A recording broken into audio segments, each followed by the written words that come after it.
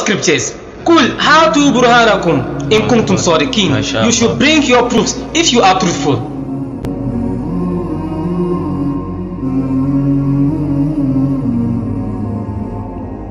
Ya Sheikh. Ya Sheikh, in our today's video, I want us to discuss a topic. Though we've been on that for so long, but today I want us to go deep into it, which is some Christians do say that Jesus, Prophet Isa is the Son of God, or he, or he is God. Is it true that he is really the Son of God, or he is not, according to the Bible first? Alhamdulillah for this question. These questions have been in the minds of the Christians, and that is what they think all the time.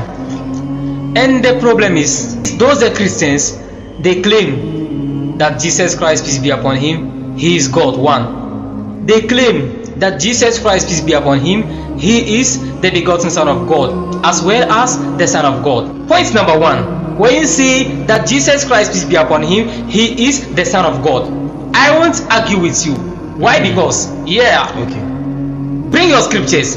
Kul hatu burhanakum in kuntum sadiqin. Mashallah. You should bring your proofs if you are truthful. And we Muslims, we must read their scripture to show them the truth.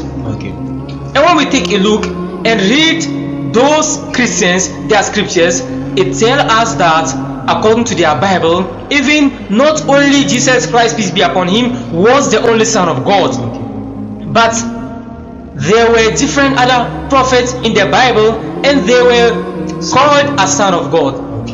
If you read the book of Romans, chapter number 8, verse number 14, Mm. it tells us that all those who are led by the Spirit of God, they are sons of God. Because according to the Bible, Abraham was the son of God, Akbar. Ephraim was the son of God, Inshallah. Israel was the son of God. Mm. All those who are led by the Spirit of God, they are sons of God.